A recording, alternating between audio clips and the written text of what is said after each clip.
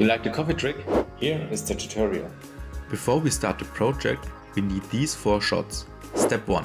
Film yourself throwing the pad in the air. Step 2. Stay in the previous position and drop the pad from your hand and repeat the throwing motion and continue the scene to the end. Step 3. Take an empty shot of the glass filled with coffee. Step 4. Throw the pad in the air in front of a green screen.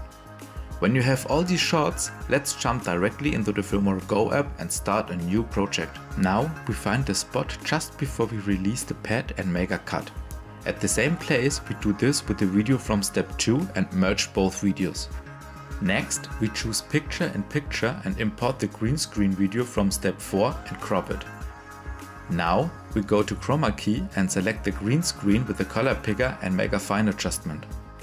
Then resize and position the pad on the hand and set a keyframe at the beginning of the track. Now go to the end of the track, set another keyframe and align the pad with the glass. Next we select picture in picture again, import the video from step 3, adjust the size and crop it to the point where only the full glass can be seen. Then we go to mask, choose circle and mask only the glass. That's it. Now just export and share on your social media. Please like the video and write in the comments what you want a tutorial about next. And here the final result.